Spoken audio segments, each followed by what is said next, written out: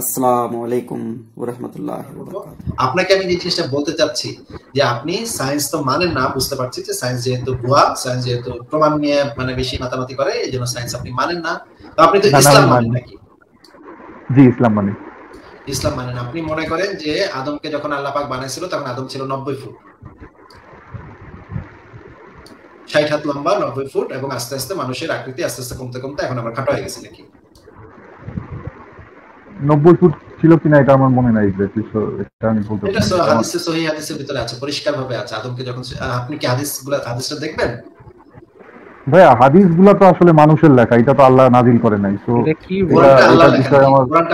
বললেন এতক্ষণ পরে কোরআন তো নিজে তো বক্তব্য এটা তো তার একদম ডাইরেক্ট ওই নাজিল করা। কোরআনটা আল্লাহ আল্লাহ নিজের হাতে লেখা তারপরে না মেমোরাইজ ভাইয়া মেমোরাইজ তো মানে কোরআন এবং হাদিসের মধ্যে কিন্তু পার্থক্য আছে এটা আপনিও আপনি যে বলেন মানুষের লেখা আপনি যে বললেন মানুষের লেখা তার মানে আপনি বলতে যাচ্ছেন যে কোরআনটা মানুষের লেখা না কোনো একটা অলৌকিক সত্তার লেখা।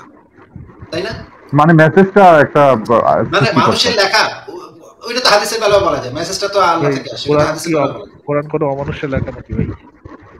হ্যাঁ একটা অপদার্থ অমানুষের লেখা এটা এটা উনি ঠিকই বলেছেন অমানুষের লেখা এরকম একটা মানুষের লেখা বলতে আমি যা বুঝিয়েছি তা আপনারা বুঝতে পেরেছেন ভাইয়া। অমানুষের লেখাই লেখা হয় সম্ভব একটা বড় বড় একটা গ্রন্থ মানুষের লেখা হয় সম্ভব। এটা ঠিক বলেছেন আপনার সাথে এই বিষয়ে একমত।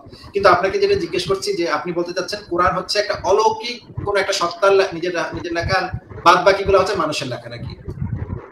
না না বাদ বাকিগুলো মানুষের লেখা বলি না আমি বলছি হাদিস মানুষের লেখা। হাদিসটা মানুষের লেখা আর কোরআনটা হচ্ছে অলৌকিক একটা সত্তা লেখা। তিনি কি নিজে হাত নিজের হাতে লেখা তারপরে পাঠিয়েছিল? না মাথার মধ্যে ঢুকাই দিয়েছে মেমোরাইজ করে তো লেখাটা কে লিখছে? লেখাটা কে লিখছে সেটা বলেন।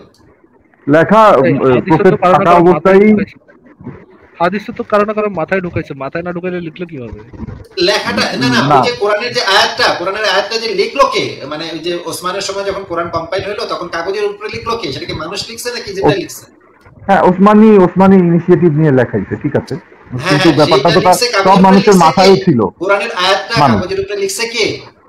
মানুষ। তাহলে তাহলে আপনি তো বলেন হাদিসটা মানুষের লেখা। কোরআনটা তো তাহলে অমানুষের লেখা হওয়ার কথা আপনার কথা অনুসারে। কোরআনটাও তো দেখতেছি মানুষই লিখছে। না ভাইয়া আমি ওইটা মিন করি না। আমি যেটা মিন করছি যে ধরুন কোরআন তো আল্লাহ বলছে কি এটা আমি মনে করেন মাথায় ঢুকায় দেওয়া কেউ তো আর দেখে নাই নবীরে নবীর মাথায় জিব্রাইল এসে দিচ্ছে এটা তো কেউ দেখে নাই। সবাই নবীর মুখের থেকে শুনছে কথা।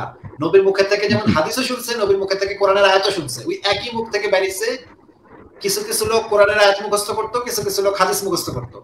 আপনার কাছে কেন মনে হচ্ছে যে কোরআনের আয়াতটা একদম পারফেক্টলি যেটা নবী বলছে সেটা হয়ে গেছে আর হাদিসটা ওই একই সাহাবিরা, কিছু সাহাবি হচ্ছে, একই সাহাবিরা কিন্তু কোরআনের বলছে, আবার হাদিসে বলছে। এমন কি? অনেক, এমন কি? একটু বলে নেই। এমন কি অনেক সাহাবি আছে, যাদের হাদিস গ্রহণ করা হয়নি দুর্বল স্মৃতিশক্তির কারণে? সেই ব্যাটারে আবার কোরআনের আয়াত কইলা ফেলাইছে। ফারাজ ভাই মানে মজার বিষয় হচ্ছে, সেই সাহাবি হচ্ছে কোরআনের মুখস্থকারী, তার থেকে কোরআনের আয়াত নিয়ে কোরআন লিখে ফেলাইছে। ওই ব্যাটারে হাদিস যারা কম্পাইল করছে তারা বলছে এবারে তো মেমোরি বলা হয়েছিল না। একজনকে ভাই বাটপার বলা হয়েছিল না? বাটপার বলা হয়েছিল একজনকে ইয়া করে করে দেওয়া হয়েছে মানে একজনের ইমান ঠিক নাই আকীদা ঠিক নাই এইজন্য অনেক ব্যক্তিকে বাদ দেওয়া হয়েছে। বাটপার বলে যে ব্যক্তির কাছ থেকে হাদিস না হয় না সেই ব্যক্তির কাছ থেকে কোরআনের আয়াত না হয়েছে। মানে সিরিয়াসলি চিন্তা করেন, হাদিস যখন কম্পাইল করা হচ্ছে, তখন তারা চরিত্র বিশ্লেষণ করছে। এই যে যে এই হাদিসটা বলতেছে, এই লোকটার চরিত্র কেমন? দেখা গেছে এই বেটা ছিল মানে টাকা নিয়ে টাকা দিত না, এই চুরি বাটপারি করতো চুরি করতো। এইবারের থেকে কোরআনের হাদিস হাদিস নাই, চিন্তা করেন ভাই। ভাইয়া আমি একটা জিনিস নিশ্চিত সেটা কোরআন হোক হাদিস হোক আপনারা মানে খারাপের বিপক্ষে মানে বর্বরতার বিপক্ষে নৃশংসতার বিপক্ষে ওই আলোচনায় আমরা পরে যাব। আপনি যে বললেন যে কোরআনটা কোরআনটা হচ্ছে হাদিস মানুষের লেখা কোরআন মানুষের লেখা না। এই তথ্যটা একেবারেই ভুল। হাদিস এবং কোরআনের আয়াত দুইটাই ইসলামিক আইডিওলজি অনুযায়ী ইসলাম অনুযায়ী দুইটাই ওহি দুইটাই আল্লাহর বলা জিনিস। একটা কোরআন হিসাবে কম্পাইল হয়েছে একটা হাদিস হিসাবে কম্পাইল হয়েছে। নবী মোহাম্মদ যেগুলো কথা বলছেন বা সম্মতি দিচ্ছেন ওইগুলো তো ওইগুলোর কোনোটাতেই ইসলামিক থিওলজি অনুযায়ী উনি কোনো কোথাও নিজের কোনো কথা বলে নাই। আল্লাহ ওনার মুখ থেকে যেটা বলাইছে উনি সেটা বলছেন। আচ্ছা ফারাজ ভাই, আমি একটা জিনিস জানতে চাই যে উনি তো যেহেতু হাদিস মানে না, হাদিসটা হচ্ছে সবচেয়ে অথেন্টিক ভেরিফাইড মানে ইসলামিক নলেজ সেটা যেহেতু উনি মানে না, সেহেতু তো উনি তো সিরাত তো মানবেনই না। আর মানে তারপরে হচ্ছে কি তাফসিরগুলো সেগুলো তো মানার কোনো প্রশ্নই আসে না। শুধু উনি শুধু যদি কোরআন আমি কোরআনই মানি। তাহলে তাহলে আপনি আমাকে কোরআন জিনিসটা কার উপরে নাজিল হয়েছে? প্রফেট মোহাম্মদ সাল্লাল্লাহু আলাইহি সাল্লাম মানে ওনার দ্বারা মোহাম্মদ লোকটা কে? মোহাম্মদ লোকটা কে? উনি একজন নবী। ওনার জন্ম কত সালে? আজ থেকে ছয়শো বছর সরি মানে ছয়শো বছর আগে এই জিনিসটা- এই জিনিসটা যে চোদ্দশো সরি বলছেন, চোদ্দশো কোরআনের বছর কোন আয়াতে লেখা আছে যে চোদ্দশো বছর আগে জন্মেছিল নবী মোহাম্মদ। কোরআনের কোন আয়াতে লেখা আছে? এটা হিস্ট্রি মানে হিস্ট্রি না না আপনি তো হাদিসই যেখানে মানেন না সেখানে হিস্ট্রি তো মানে সিরাত এবং তাফসির এবং হাদিস সেগুলো সব তো বাতিল হয়ে গেল। আপনি তো না জেনারেল হিস্ট্রি যেটা। আপনি তো শুধু কোরআন মানেন আপনি তো একটু সেই- একটু সেটাই বললেন। মোহাম্মদের জন্ম যে পাঁচশো সত্তর সালে হয়েছিল এটা কোরআন থেকে একটু দেখান তো ভাই। ওনার ধরেন জন্ম পাঁচশো সত্তর সালে হয় নাই তাতে আমার কোনো সমস্যা নেই। তা- তা- তা- তাইলে আপনি বইটা যে পাইলেন এই বইটা কে মানে কারা কম্পাইল করছে কারা? এই যে উনি থাকতে কম্পাইল করে রেখে গিয়েছেন বাট পরে ওসমান কোরআনের কোথায় লেখা আছে যে উনি থাকতে কম্পাইল করে দিয়ে গেছেন? কোরআনের কোন আয়াতে লেখা কারণ কোরআনে ওনার মাথার মধ্যেই তো ঢুকাই দিয়ে গেছে এবং উনি তো সবাইকে না, মেমোরাইজ করাইছেন আয়াতে লেখা আছে যে উনি কম্পাইল করে দিয়ে গেছেন? এটা কোরআনের কোন আয়াতে লেখা আছে? না এটা কোরআনের কোথাও লেখা নেই। আচ্ছা এখন যে আপনি কোরআনটা পড়েন এটা কম্পাইল করছে কে তাহলে? উনি প্রফেট থাকতেই কম্পাইল করে কম্পাইল করাটাও জরুরি ছিল না যদি? আপনি তো অনলি কোরআন মানেন শুধু কোরআন মানেন। তাহলে কোরআনে নাই দিলে আপনি কীভাবে নিজে নিজে বানায় বলতেছেন কীভাবে? আচ্ছা তাইলে আমি এটা না বলি। তার আপনি শুধুমাত্র কোরআনে যেটা আছে সেটা মানেন তো তাই না? তাহলে তো আপনি বাড়তি কথা কেন বলতেছেন? আপনাকে জিজ্ঞেস করেছি যে আপনি তাহলে আপনার কাছে কোনো ইনফরমেশন নাই যে এই কোরআনটা কে কম্পাইল করল? এই কোনো ইনফরমেশন নাই আপনার কাছে? না। মানে আপনি আপনার বাপে আপনার একটা দিছে একটা বই বলছে এটা বিশ্বাস করতে হবে। আপনি বুঝে নিচ্ছেন হ্যাঁ এটা এটা সব বিশ্বাস করি আমি এটা এই হচ্ছে মানে এটা কে কম্পাইল করল হ্যাঁ। এটা আপনি জানেন না। আপনি এটা বিশ্বাস করেন। ভাই রাগ করেন না। মানে সৃষ্টিকর্তা যে নাই এটা তো প্রমাণ করতে পারতেছি না। তো আপনি এটা কীভাবে বুঝলেন তাহলে? কারণ আচ্ছা এটা কীভাবে বুঝলাম এটা আমি বুঝতে এটা এটা আমার বুঝতে পারা সম্ভব না বাট এটা বিশ্বাস করতেছি। ওই ঘুরে ঘুরে ফিরে সেখানে তো ব্লাইন্ড ফেথেই চলে আসলো ভাই। তাহলে ভাই আমি- আপনারা একজন হিন্দুর মধ্যে পার্থক্য কোথায়? আমি একটা কথা বলি জাস্ট যে ধরেন কোরআনের রাবেন ভাই আপনি কি আপনি কি নিজে রিয়ালাইজ করতে পারছেন যে আপনার কথা কতখানি ইলজিক্যাল এবং কতখানি অ্যাবসার্ড কথাবার্তা কতখানি মানে হাস্যকর কথাবার্তা এই জিনিসটা কি আপনি নিজে রিয়ালাইজ করতে পারছেন? আপনি অনলি কোরআন মানেন ঠিক আছে? সেটা নিয়ে আমার কোনো সমস্যা নেই। কিন্তু আপনি তো অনলি কোরআন মেনে কোরআন জিনিসটা যে কি এইটাও আপনি ব্যাখ্যা করতে পারবেন না। পারবেন? ভাইয়া একটা কথা বলি মানে আপনার মানে আইকিউ লেভেল লজিক আর আমার তো কোনোদিন সমান হতে পারবে না মানে এটা তাইলে তো আমি আপনার মতোই হতে পারতাম মানে ওই জন্য তো আপনি আমাকে মানে লজ্জা দিয়ে লাভ নাই মানে আমি নিশ্চয়ই কম বুঝতেই পারি তো কিন্তু কিন্তু আপনার যে বিশ্বাসটা আপনি যে অনলি কোরআন সেই কোরআন আপনার কথাটা তো আপনার সাথে কন্ট্রাডিক্ট করছে আপনি তো তাহলে আর কিছু করতে পারবেন না। তাহলে এই বইটা কে লিখছে? কে প্রথম এই বইটাকে কম্পাইল করল? এই প্রশ্নগুলোর উত্তর আপনাকে দিতে হবে না। আপনি আপনার বিশ্বাসটা নিয়ে আমাদের সাথে তো আলোচনা করতে আসছেন, তাই না? কিন্তু আমরা এটাকে তো একটু ফুটায় ফুটায় দেখব যে আপনার বিশ্বাসটা আসলে কি। আমরা তো সেটা করতেছি। আপনার ইয়াটাকে ফুটায় ফুটায় দেখতেছি। আপনি তো এইটাও বলার মতো কোনো এভিডেন্স আপনার কাছে নাই যে বইটা আপনি পাইছেন কোথায়। এটা যে ওসমান লিখছে, এই ওসমান ওসমান কম্পাইল করছে, এটার জন্য তো আপনার সিরাতে যেতে হচ্ছে, হাদিসে যেতে হচ্ছে।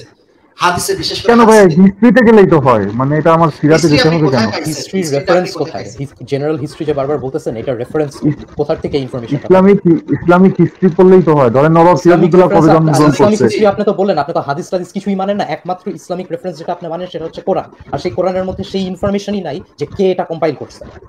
আহ, রামেন ভাই কোরআন হচ্ছে কমান্ডমেন্ট হিসেবে মানি। রামেন ভাই আপনাকে একটা কথা বলে দিই। ইসলামের হিস্ট্রির ভিতরে হাদিস সহি হচ্ছে ভেরিফাইড হিস্ট্রিক্যাল এভিডেন্স ভেরিফাইড ঠিক আছে? হাদিস হচ্ছে ভেরিফাইড আর বাদ বাকি যেগুলো আছে সেগুলো হচ্ছে ভেরিফিকেশন ছাড়া, ঠিক আছে? আপনি যখন এই কথাটা বলছেন, ওসমানের আমলে কোরআন কম্পাইল হয়েছে, এই জিনিসটা আপনি আসলে হিস্ট্রি থেকে জানছেন না। হিস্ট্রি তো ভাই আসমান থেকে নামে না। এই জিনিসটা হাদিস হিসেবে লিপিবদ্ধ ছিল দেখে হিস্ট্রিতে ইসলামের হিস্ট্রিতে এই জিনিসটা ইনক্লুড হয়েছে। যে ওসমানের আমলে আমরা যে কোরআনটা পাই সেটা ওসমানী কোরআন। এটা হাদিস হিসেবে লিপিবদ্ধ ছিল দেখে আমরা জানতে পারি।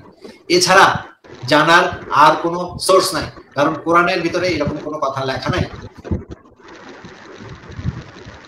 আচ্ছা ভাই আমি জাস্ট একটা কথা বলি এইটা একটু শোনেন মানে এটা কোনো কোনো ডিফারেন্ট করে ভাই, আমি তাহলে এটা আজকের কোনো- করে- এটা খুব আমরা শেষ করে একটু শুনে ফারাজ যান। ফারাজ ভাই এক মিনিট থাকেন আমরা শেষ করে দিচ্ছি। আচ্ছা এক মিনিট আমি এটা বলেই শেষ করে দিচ্ছি। সেটা হচ্ছে যে ভাইয়া দেখেন আপনারা তো সবার ভালোর জন্য এটা মানে সবার ভালোর জন্য বলতেছেন যে হিউম্যান কাইন্ডের জন্য যে হ্যাঁ এটা ধর্ষণ করা বা এটা মানুষের খুন খারাপি করা এগুলো ভালো না এগুলি এরকম বড় বড় ব্যাপার তো এটা আমি ওইটা অন্য আরেকদিন আলোচনা করা যাবে কিন্তু এভাবে আর যদি আপনাদেরকে বলি ধরেন আপনাদের মতো লজিক্যাল এতগুলি মানুষ ধরেন কথার কথা মানে জাস্ট ব্যঙ্গ না করে জাস্ট একটু শোনেন ধরেন কথার কথা মরার পরে দেখা গেল কি যে আমি আমি কোনো আমি মাকালি দেখা গেল আমি বেসতে চলে হ্যাঁ হবে?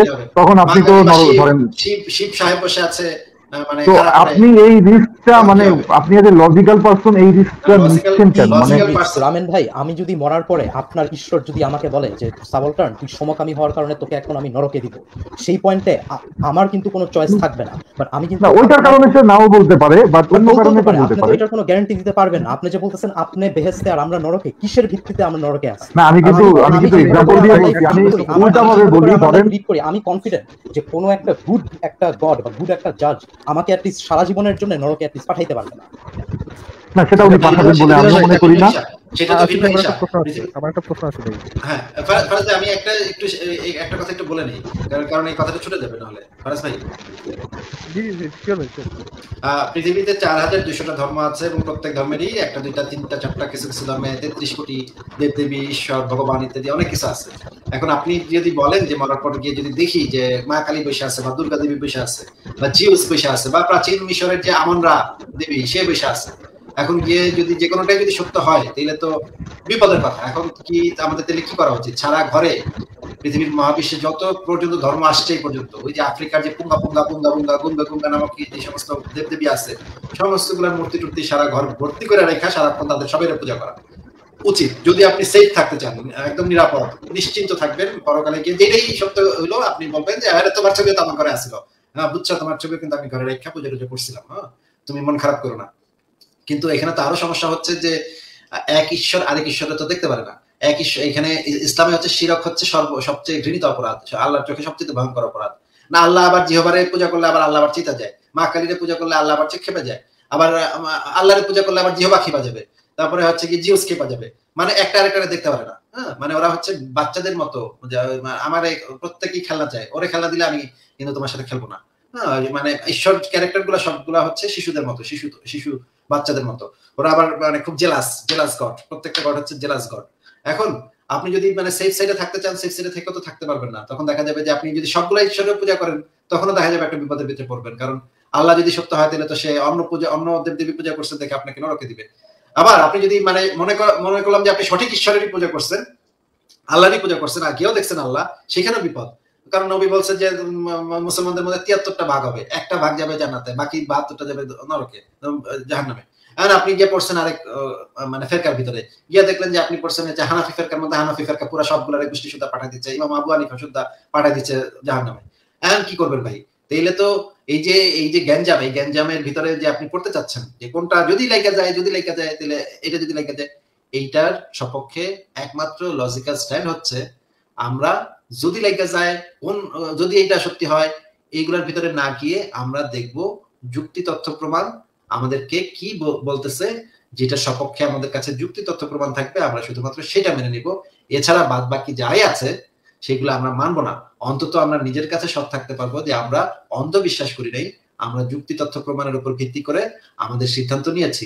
এটার জন্য যদি আমাকে পানিশমেন্ট পেতে হয় ভবিষ্যতে গিয়ে ওয়েল কোনো সমস্যা নেই, আমি আই উইল অ্যাকসেপ্ট ইট যে আমি অন্তত পক্ষে নিজের কাছে সৎ ছিলাম যে যুক্তি তথ্য প্রমাণ আমাকে যে দিকে নিয়ে গেছে আমি সেই দিকে গেছি। বড়দের মতো অন্ধবিশ্বাস করি নাই। হ্যাঁ ফারাজ ভাই বলেন। না আবার এটা ছাড়াও ভাই আমি আরেকটা মানে আপনি যেগুলো কথা বলেন আসিফ ভাই এটার সাথে জাস্ট একটা পয়েন্ট অ্যাড করা ছিল। আহ, রামেন ভাই একটু একটু আনমিউট করুন ভাই।